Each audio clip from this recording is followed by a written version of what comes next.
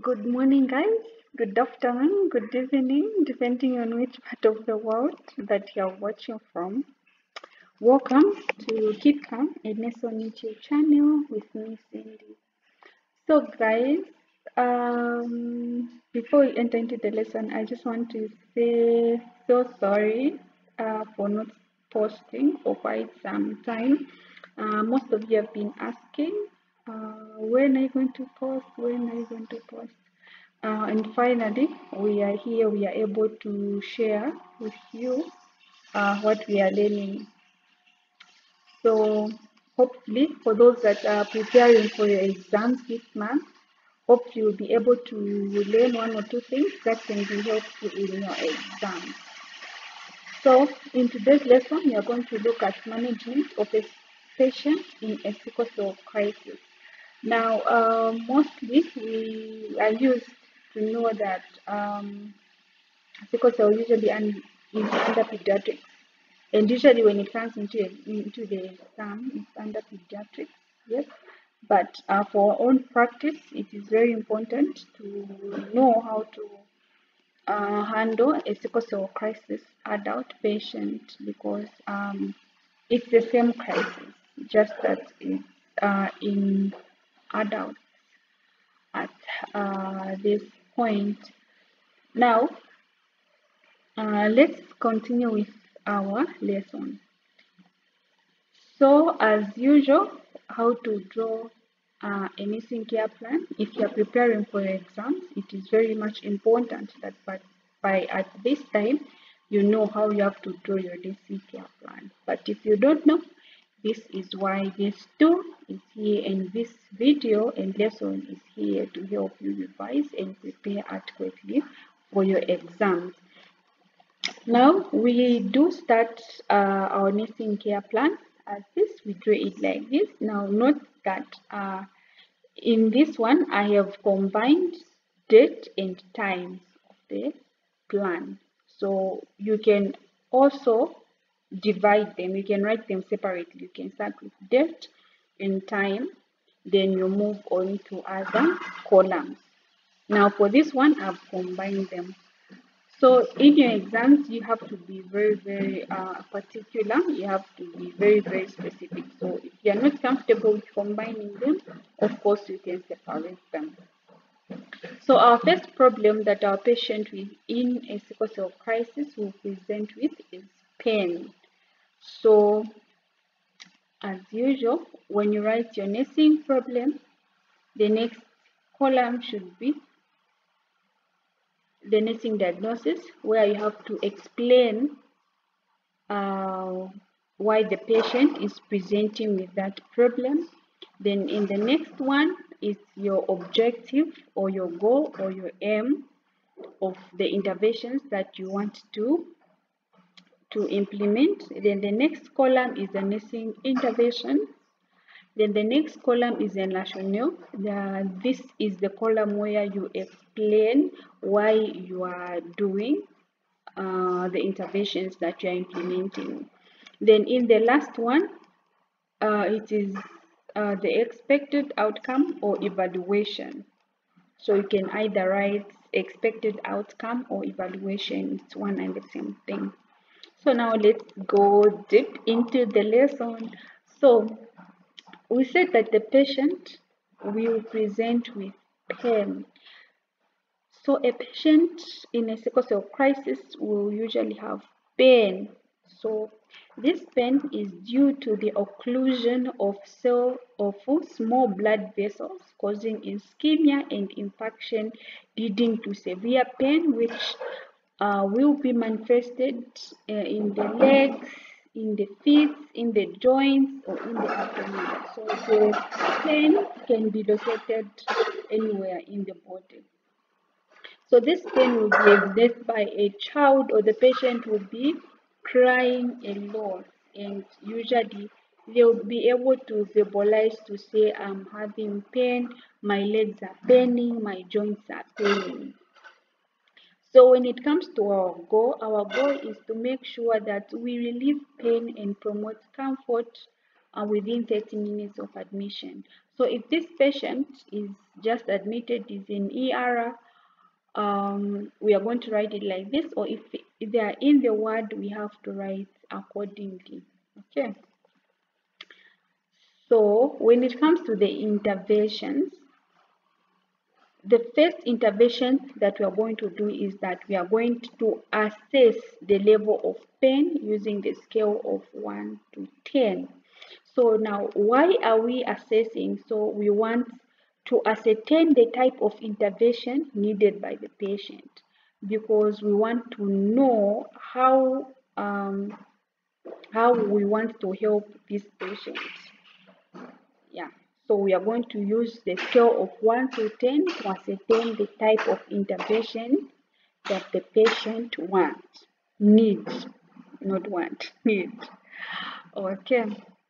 So uh, by the end of our interventions, our expected outcome is that we want our patients to be free from pain, which will be evidenced by patient sleeping comfortably or no longer crying and the patient should be able to say if they are adults or if they are bigger children they should be able to say that uh, the pain has gone. I'm no longer feeling pain after the intervention.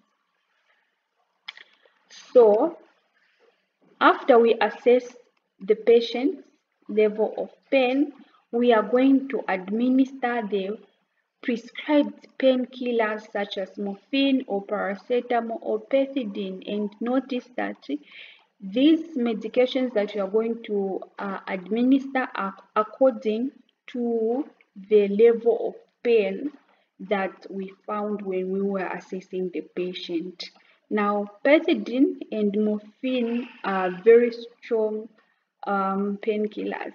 So this we are going to give if the patient has told us that they are in severe pain. So we should be, when assessing, we should be able to ask the patient from the level of 1 to 10, how can you scale your pain? So if the patient says um, 10 over 10 or 9 over 10, we are going to know that uh, this patient is in severe pain and we have to administer morphine or pethidine or the medication according to what the doctor has ordered. Then we should be able, our rationale is that we want to relieve the patient from this pain.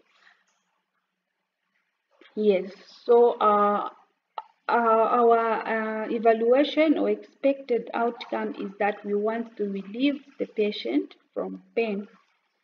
So the next intervention is that we want we will observe.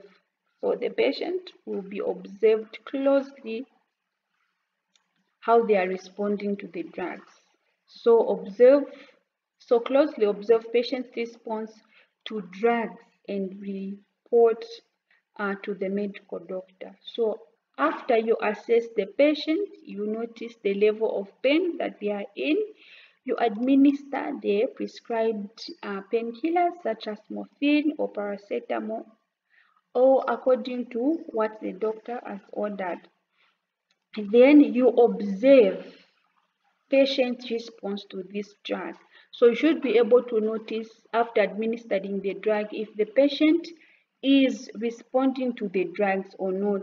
Because sometimes you can administer this drug and then the patient is still in pain. So we should be able to communicate to the doctors that uh, after uh, administering this drug, the patient is still in pain. So the doctor will be able to adjust the drugs accordingly. So these are the three points that are under these interventions. So remember, we assess the level of pain, we administer the prescribed painkillers, then we observe patients um, response to these painkillers. Then the next intervention is that we want, we position the patient carefully and support painful areas with pillows. So why are we doing that? We want to relieve the patient from pain on the painful points. So we have to position the patient carefully and support painful areas with pillows to relieve the patient from pain on the painful points. So our evaluations still remain the same.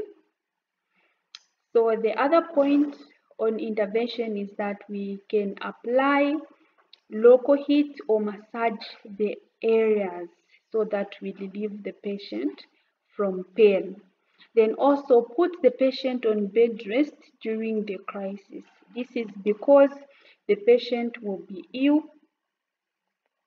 and we want to avoid the condition from worsening. So the patient has to be on bed rest. Then last but not the least, we are going to provide diversional therapy such as television viewing. So if they are children, we can also provide toys uh, for them to be playing with.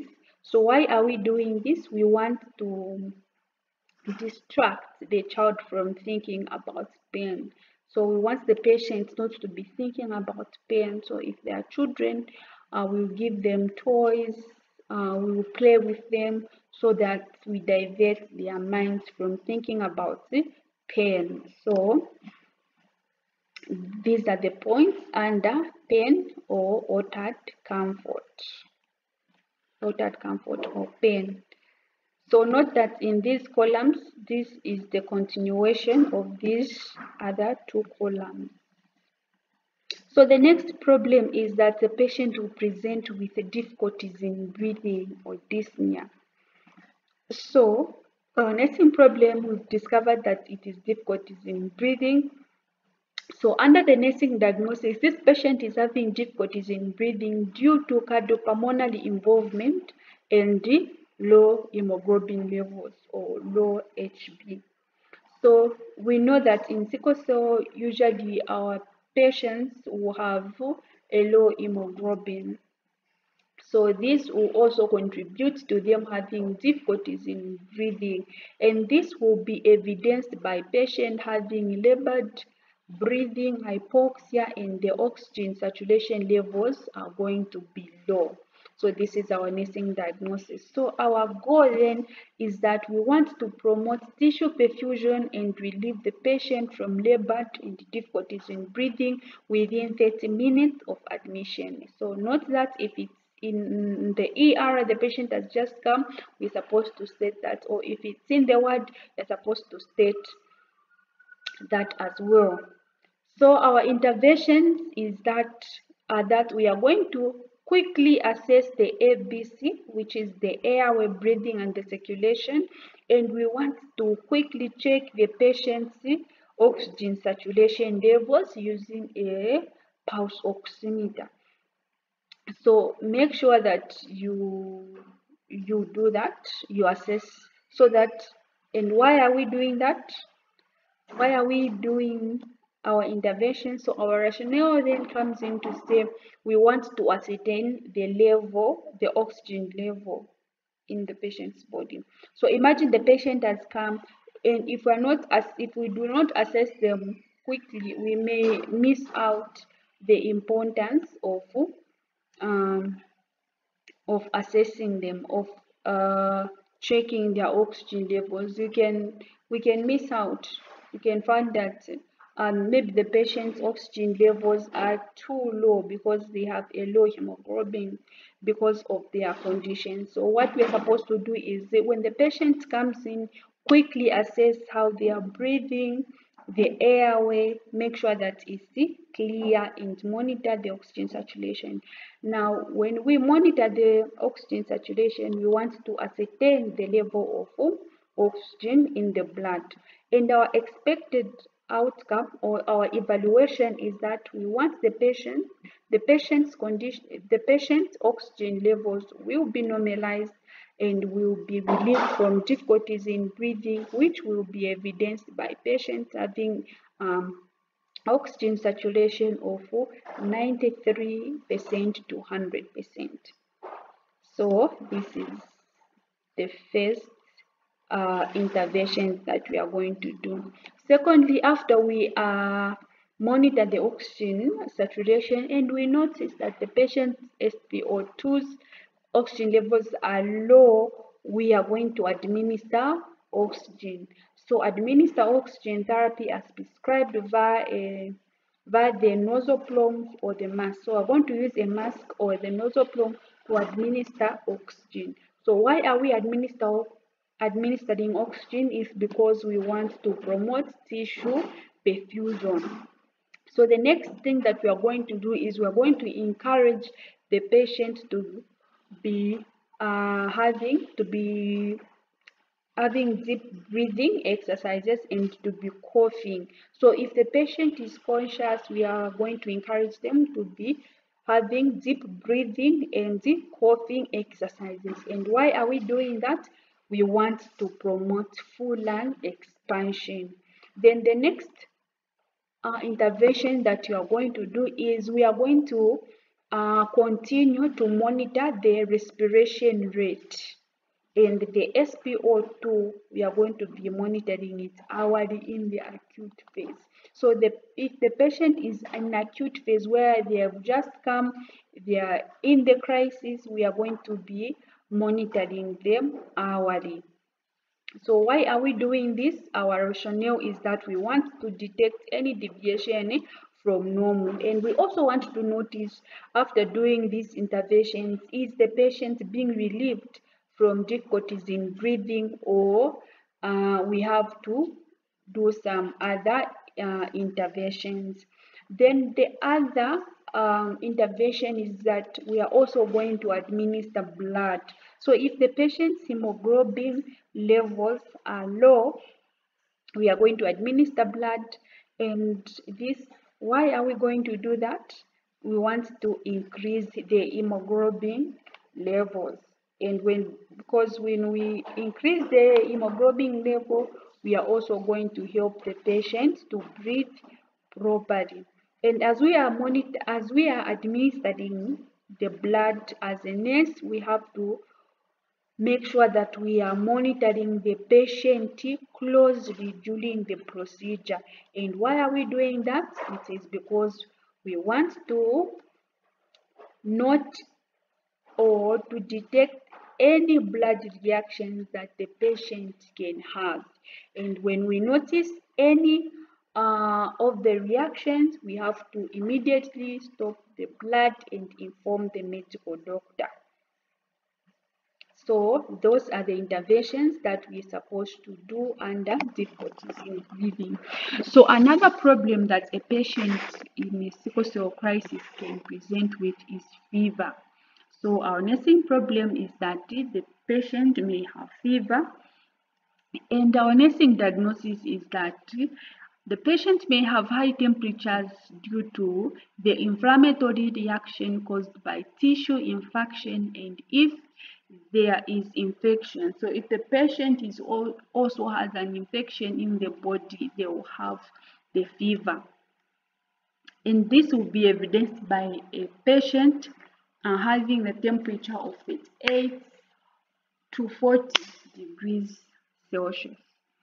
So our goal then will be we want to reduce this fever within 30 minutes and then we also want to prevent fever complications such as uh, seizures or convulsions, especially in children. We want to uh, reduce the fever as fast as possible so that the patient does not uh, start to convulse.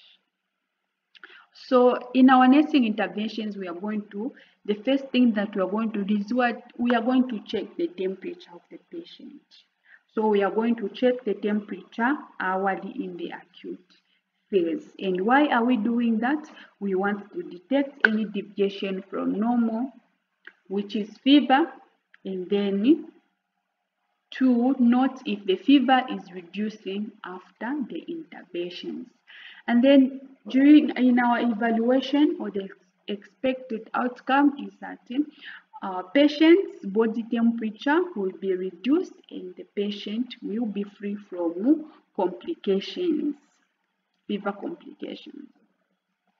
So the next interventions that we are going to do is that we are going to expose the patient by removing extra clothing and linen if present. So if we notice that the patient has got fever, we have to reduce uh, to expose the patient by removing extra linen and clothing if present. And why are we doing so? It is because we want to uh, promote heat loss, thus reduce fever. The next, we are going to sponge the patient with lukewarm water. And why are we doing so? We want to cool the patient's body. Then also, we are going to open nearby windows with caution. So in this case, we are going to open windows with caution because we want to prevent a cold breeze entering the room which can worsen the patient because it can cause hypothermia which can take back the patient into the crisis which we are avoiding or which we are managing so we have to open the nearby windows with caution if it's very cold we will do it with caution so that we don't worsen the patient's condition so why are we opening windows? We want to allow cool air to enter in the room. Then also we are going to administer the prescribed antibiotics such as paracetamol. Why are we doing so? We want to reduce uh, fever. And also lastly, we are going to administer the prescribed antibiotics. So this is in situations where the patient has got an infection. So when we treat that infection, it means the patient will no longer have fever. So those are the points under fever. So the third problem that our patient is going to have is anxiety. So our nursing diagnosis is that uh, the patient will have uh, will be anxious so this anxiety will be related to lack of knowledge about the disease and the prognosis. So especially if this is a baby, this is a child that has been newly diagnosed, the parents do not know, do not have knowledge about sickle cell, they are going to be anxious because they do not know how the condition comes about, and what to do when the patient is in a crisis. So they are going to be anxious, and this will be evidenced by the parents asking a lot of questions. Or if it's an older child, they will be able to ask a lot of questions and they will they will, they will even look anxious so our goal or our aim or our objective as a nurse is that we want to help the patient and the parents to be free from and from being anxious. So we also want to make sure that the patients are educated more about the disease or the condition so that they understand and by so doing they are going to be free from from they are going to be calm so our interventions are as follows. We are going to explain. So explain to the patient and the parents how the condition comes about together with what is happening to the patient so why are we doing that? We want to promote understanding. Then the second point is that we are going to explain the reason for special care such as oxygen and blood transfusion. So why are we doing so? We want to explain. So when we do that, we want to allay anxiety that's under our rationale. Then also third point is that we want we have to involve the parents in the child's care. So if it's the child we are going to involve the parents in the child's care. Why are we doing that? We want to prevent social isolation. So if it is an adult we are going to involve significant others such as the husbands the friends uh, in their care so that we prevent uh, social isolation. So then also we are going to encourage the parents or the patient, him or herself to talk about their concerns and as a nurse, we have to respond to them with calmness and in simple terms so that we promote understanding and allay anxiety. And our evaluation or expected outcome is that the patient or the parents uh, anxious will be reduced as evidenced by them being calm and not asking a lot of questions. So we can even evaluate if they've understood by asking them questions. So they should be able to answer our questions.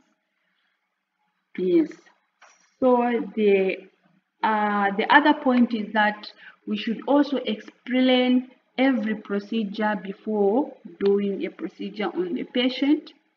So explain every procedure such as commencement of oxygen or blood transfusion. So we have to explain to them in simple terms so that they understand. And when they understand, they are going to cooperate and that will make our work easier.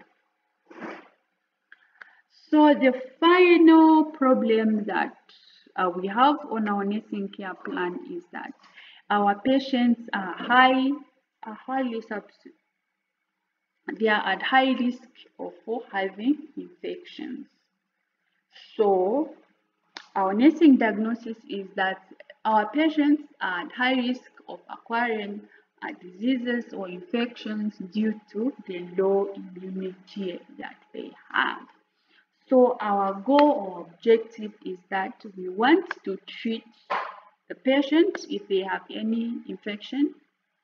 We are going to treat it. Then we are going to prevent nosocomial infections during or throughout hospitalization. Please note out um, there's a typing error. So we want to prevent nosocomial infections throughout hospitalization. So our nursing interventions are as follows. We are going to admit the patient in a clean and well ventilated room. Why are we doing so? To prevent bacterial colonization or infection under our rationale. So the second point is that we are going to nurse the patient in base isolation to prevent the patient from acquiring other infections. So we are going to nurse these patients away from patients with infectious conditions that can easily infect them. Then also we are going to administer prescribed antibiotics to combat any infections that they have or to treat any infection that the patient may have. And then we are going to monitor the vital signs hourly, which may show that the patient has an infection or not. So if the, we find that they've got fever, for example, it will show that they may have an infection and we have to treat it accordingly. Then also we have to administer uh, prophylactic drugs such as the pyrimethamine or deltaprim.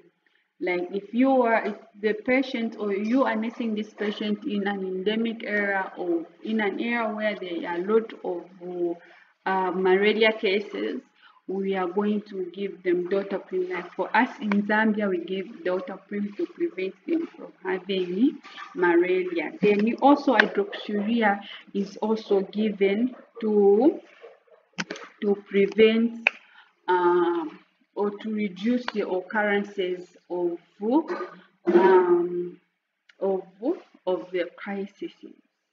So this is a simple and easy to learn and to master nursing care plan for a patient in a sickle cell crisis. I hope that you learn and you you revise um, and prepare well for your exams. And please, for all your comments, write down your comments and anything that you want to learn please let me know in the comments section and if I've left out anything which is very important uh, under this topic please also put in your comments. Remember to subscribe to this channel to encourage me if you are really enjoying uh, these lessons. Remember to subscribe and share with your friends. Thank you so much for um, learning with me. Uh, may you have a blessed day.